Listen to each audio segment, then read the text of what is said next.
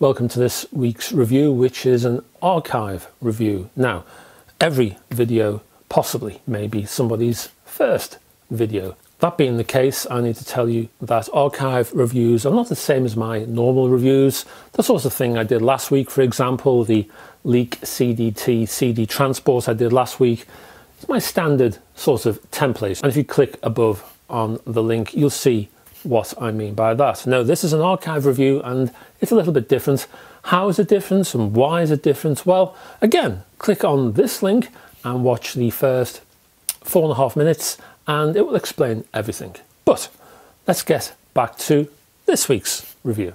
Now, this particular archive review I wanted to do because it's sort of unfinished business. It's sort of squaring of a circle, as it were, because it's a phono amplifier from IOTA. Now, recently I did a review of an IOTA turntable. Again, link above. There's an awful lot of links in this one, isn't there? So I originally did a review of this turntable around the same time as this phono amplifier. So in my own head, it's sort of unfinished business. So I wanted to include that here. This particular phono amplifier from IOTA is called the Median. And when I originally reviewed the Median, it cost 625 pounds. And that price remains. It's still 625 pounds. Now this particular phono amplifier is fully balanced and that's its main selling point. Now I asked Nigel Brown, who's the boss of IOTA about the choice of going balanced for this particular phono amplifier and he explained and I quote balanced operation he said for both the input and output ensures the ideal means of handling the very vulnerable signal that vinyl reproduction represents with this phono stage it's possible to use any practical length of suitable arm cable without experiencing interference problems. The same is also true of the output from the phono stage. True differential balanced operation allows even extreme lengths of cable to be run, once again without pickup or interference affecting the signal. Now that might be a little dry for some of you, but I wanted to dwell upon that because, well, that's the reason that this phono amplifier exists. That's the main selling point. That's why you would want to buy it for the balanced operation. Which is all well and good and is, on the face of it, a very wonderful thing. Problem is, or rather was, I had no opportunity of grabbing a turntable with a balanced cable hanging off the tone arm in time for the median review. I could have waited and waited and waited for the opportunity, but I wanted to take a look at this phono amplifier, so forgive me for not going the whole hog on this one. So I was able to test the balanced outputs, but I had to rely on your basic single-ended RCAs for the inputs. And this will be the situation that many of you will also find yourself in. So at least I can give you a report on that side of things. Now, before we go any further, I think it's time that we had a closer look. And welcome to the closer look section for the IOTA Median Phono Amplifier. Now, apart from the balanced inputs and outputs, the ground connector and power connector, there's not much to this particular design. That simplicity is generally a good thing, although there are hidden problems in terms of design. I did find a few issues.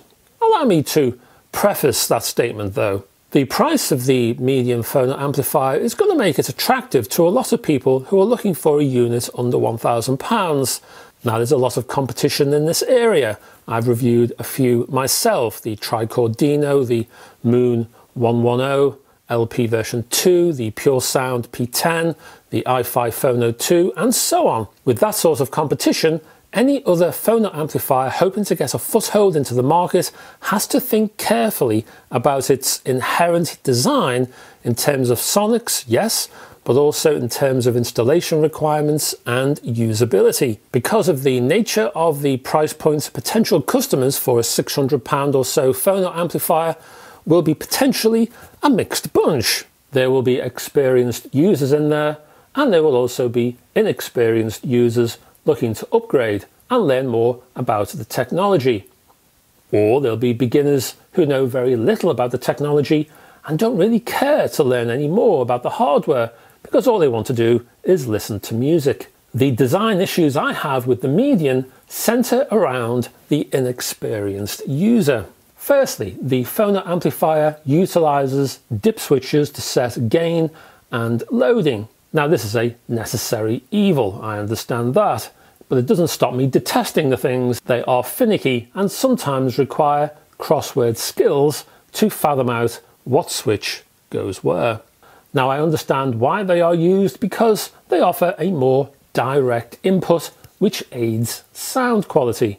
Adding knobs and switches to a design at this price will either degrade the sound because the interfaces will necessarily be of a lower quality or if better switching is used, the price will rise. All of the best phono amps in this price point and lower use dip switches, so I can't really gripe about their inclusion. I can gripe about other areas though. Firstly, most phono amplifiers ask you to handle three or four banks of dip switches, but the IOTA asks you to mess about with six of the blighters. Secondly, the dip switch manual guide shows you what dip switch to throw and while it uses familiar ohm figures for loading, it uses the less familiar millivolt microvolt figures only for output instead of also including the generally used decibel figure.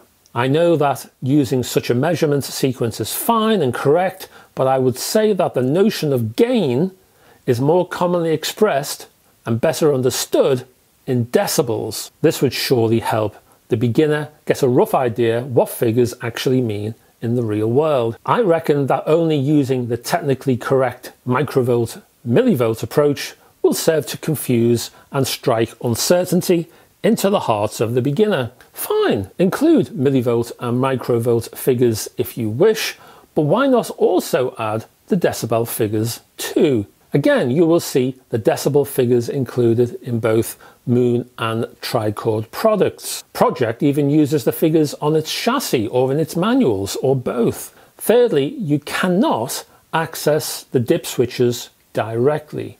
What you've got to do is remove the outer casing of the chassis. And once you're faced with a bare circuit board, you have to alter them from there. Now I know there's a whole heap of audiophiles out there who will not blink at such a suggestion and will wonder what all the fuss is about. But this hobbyist approach may scare the life out of some beginners or inexperienced users and may even lower the sales of this phono amplifier right there and then. The thought of unscrewing any hi-fi and touching any circuit board will be anathema to some. Even getting in the median's chassis was another issue. The first time I did this, the chassis stuck fast and wouldn't budge. I had to lever, push and pull, and because there was nothing else to hold, almost tug the feet off the chassis itself. Eventually the cover did shift and then trying the process a second, third and fourth time, the chassis opened up perfectly with next to no pressure required. The issue here is an inconsistency which again might bother inexperienced users. What I wanted and what I've asked IOTA to do is add a window type slot in the chassis or even a screw down door to enable you to change the dip switches without removing the chassis. But when I did talk to IOTA about this, they were adamant that sound would suffer. As such, this IOTA median design is pretty unforgiving. For the beginner or the inexperienced user, think twice before buying this product. For experienced users though, this determination to get the sonics just right will be welcome and applauded while the installation will offer no problems. You take your choice. So how does this phono amplifier from IOTA, the median, how does it actually sound? Well, let's go to the sound quality tests and we'll find out. And welcome back to the sound quality tests for the IOTA Median Phono amplifier. And I started the sound tests with the output cable as a single-ended RCA. I didn't use balanced to begin with. I'm going to use that a bit later on, but I just want to see how this phono amplifier performs wholly single-ended. So single-ended output to begin with. I started with a little bit of vocal jazz, just to see if this strict design ethos is actually worth it in sound terms. I played vocal jazz from Ethel Ennis and the album This Is Ethel Ennis on RCA and the track He Loves Me. Now, on my first impression, I was intrigued because there was something going on here. The Iota had a particular way of presenting music to the ear. I found the vocal delivery detailed and well formed, but possibly a little dry. The soundstage, while relatively broad, offered a contained approach with a certain reduction in air and space. It was detailed in general terms, but tended to be a bit embossed in nature. Now, I initially thought this sonic approach might be a problem, but the more I listened, the more I changed my mind. What the IOTA did, in fact, was to remove the distinctly romantic approach that many top phono amplifiers provide. That slightly dreamy swish of music with floaty strings, vocals oozing lip gloss, and percussion with star twinkles emanating off the end of the drumsticks. This default Las Vegas approach to music is a lovely thing in itself, but it's arguable if it's wholly and strictly realistic. It's a bit like someone walking onto a Hollywood film set and then turning off the wind machine and pushing over the backdrop and ripping away the costumes and dismantling the on-set furniture and turning off the lights before shouting there that's real life before storming off the set in a huff so what i mean by that is the iota strips away the fanciful, it strips away the idyllic, it strips away the fantastic, and instead squeezes three drops of realism with a sonic pipette onto your hi fi. Because realism is what I'm hearing here. The vocals sounded live and unprocessed. The brass section had reverb, but not extended reverb, only what was available around the brass section. The bass offered a sense of foundation, but nothing more than that. Realism was dominant, realism was prevalent, realism was everything. Now, alongside the realism, the IOTA provided a low noise presentation, very low noise. Now, the focus of this particular area of the sound tests focused on the piano. Now, the piano ordinarily was so low key and pushed so far back in the mix, it didn't even appear to be in the same room as the singer. Yet that piano's shy tinklings were never more present and correct than they were through the iota. The mid-range insight from this phono amplifier was quite phenomenal. I then changed the dynamic and moved to a slice of prog and Camel's Moon Madness from 1976. And I was pleased as punch to hear within the track Aristillus the high-pitched synth sounds not sounding edgy and strident. That situation is an oft heard issue with this track. Not here. The Iota had the issue covered and sorted. Also, the bassy rhythm section had a real weight and focused approach. The track sped along very nicely. On the track Song Within a Song, the vocal section was smooth, while the harmony addition exhibited a little heard vibrato, which is a subtle and easily missed effect.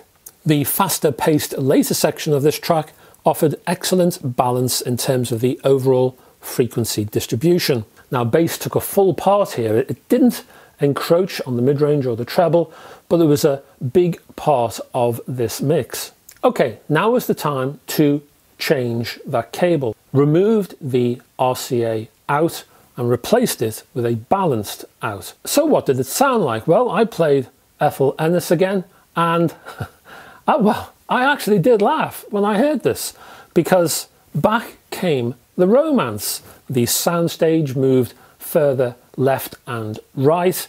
The air and space around the orchestra was just swimming around the instruments. And the vocal dripped glamour. There was a starry eyed sense of rhythm. All of that romance was back. And there was no actual negative to this approach. The balanced connections were nothing more than a sonic choice.